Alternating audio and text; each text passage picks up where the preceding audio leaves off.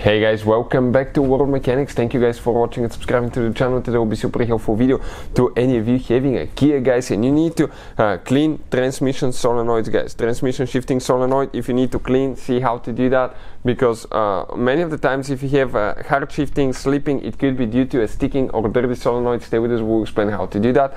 Uh, we're demonstrating on 6-speed automatic transmission and that transmission has been used on almost any Kia vehicle from year 2009 to currently 20 uh, year uh, 2022 uh, with the 6-speed automatic transmission. Anything from engine 1.2 to practically 3.8 guys. Before we start let me tell you a little bit about us. Every single car we get at the garage we try to make at least 2 to 300 free repair videos. Why we do that? Simply because our mission in the shop is to save you as much money as we can. All we need in return please subscribe to the channel like the video. That way we can keep making these absolutely free videos for you. If you guys need to buy transmission fluid parts tools for a good price and quick shipping check out the link in the description of the video below. That's where we get all our tools and supplies from. So specifically, this is a Kia Optima that we'll be demonstrating on right here. So let's go ahead. We're going to grab one of the solenoids. Okay, we have two different solenoids, two different types. Basically, those are on and off. The other ones are uh, PWM, I think they were called, pulse, uh, pulse width modulated solenoids. So let's explain how we're going to clean a solenoid now.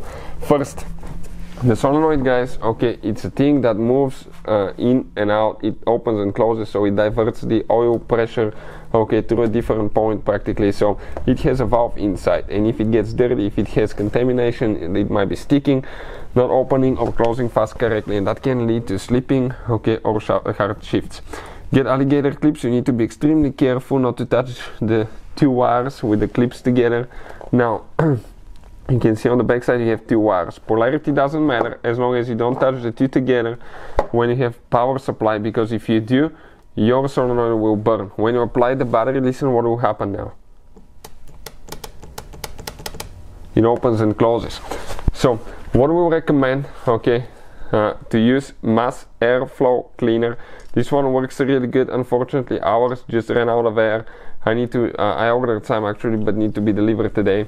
Uh, you can use that one it works the best. Also after that what I recommend or in some cases you can just use this one the Superfin Interphone lubricating spray.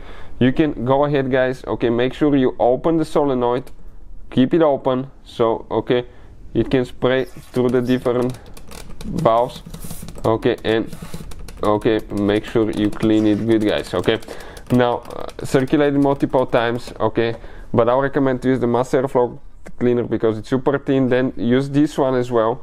After that then uh, get a cup of transmission fluid clean transmission fluid just a plastic cup okay? Enough to cover the solenoid up to here.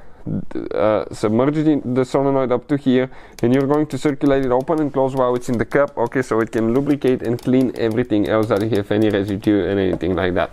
So that's how you guys practically do it. Hopefully the video will be helpful. Thank you for watching and see you next time